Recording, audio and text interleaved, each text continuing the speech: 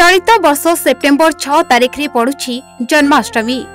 সারা দেশ এই দিন জন্মাষ্টমী পালন করব হিন্দু পাঞ্জি অনুসারে ভাদ্রব মাস কৃষ্ণ পক্ষর যে মধ্যরাত্রে অষ্টমী তিথি হয়ে সেই রাতে এবং তা পরদিনকু জন্মাষ্টমী ভাবে পালন করা যায় তেবে আপন কোন জানিছেন কি কেবে পালিবে শ্রীকৃষ্ণ জন্মাষ্টমী ଦୁଇ ଦିନ ପାଳନକୁ ନେଇ ଲୋକଙ୍କ ମଧ୍ୟରେ ଦେଖାଦେଇଛି ଦ୍ୱନ୍ଦ୍ୱ ଚଳିତ ବର୍ଷ ସେପ୍ଟେମ୍ବର ଛଅ ତାରିଖରେ ପଡ଼ୁଛି ଜନ୍ମାଷ୍ଟମୀ ସାରା ଦେଶ ଏହି ଜନ୍ମାଷ୍ଟମୀ ପାଳନ କରିବ ହିନ୍ଦୁ ପାଞ୍ଜି ଅନୁସାରେ ଭାଦ୍ରବ ମାସ କୃଷ୍ଣ ପକ୍ଷର ଯେଉଁ ମଧ୍ୟରାତ୍ରରେ ଅଷ୍ଟମୀ ତିଥି ହୋଇଥାଏ ସେହି ରାତି ଓ ତାର ପରଦିନକୁ ଜନ୍ମାଷ୍ଟମୀ ଭାବରେ ପାଳନ କରାଯାଏ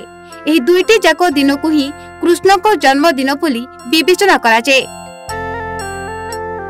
ଏହି ଦିନ ଭକ୍ତମାନେ କୃଷ୍ଣଙ୍କ ପାଇଁ ଉପାସ ରଖି ପୂଜା ଅର୍ଚ୍ଚନା କରିଥାନ୍ତି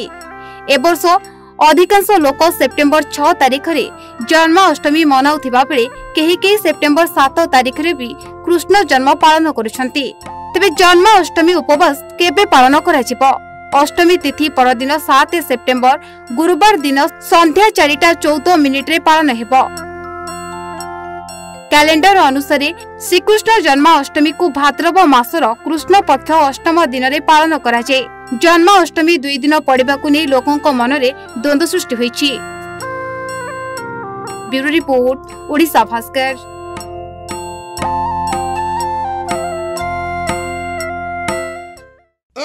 secret